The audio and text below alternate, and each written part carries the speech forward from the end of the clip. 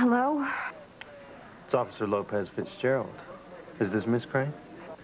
What is it now, officer? Just thought you'd want to know that the judge moved up the time of your hearing tomorrow. It's 9 o'clock. You're just dying to get me back in jail, aren't you? I called you because it's my job, Miss Crane.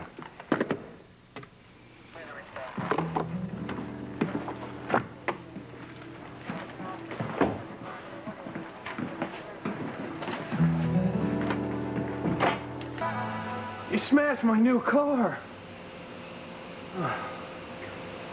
What the hell is the matter with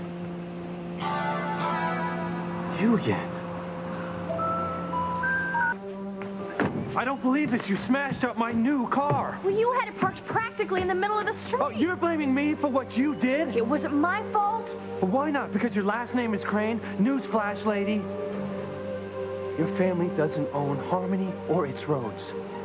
Got it? I don't know how they drive in France. But here in Harmony, if a moving car hits a parked car, it's the moving car's fault. Oh, how typical of you to get me on a technicality. Technicality?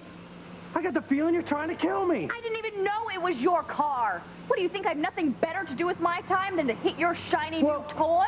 I'm beginning to wonder. Look, my mind wandered for a second.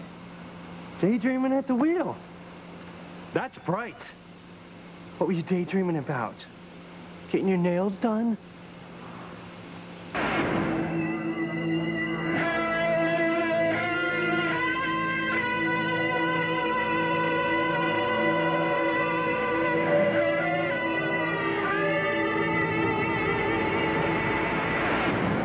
No, it wasn't that at all. What's, uh, what's wrong?